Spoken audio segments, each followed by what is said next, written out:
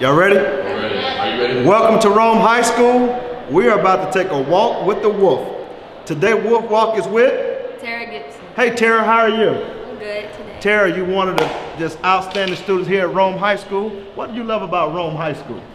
Um, I love the diversity and how we have, um, j- I guess, just many classes offered. Offer, absolutely. What's your favorite color?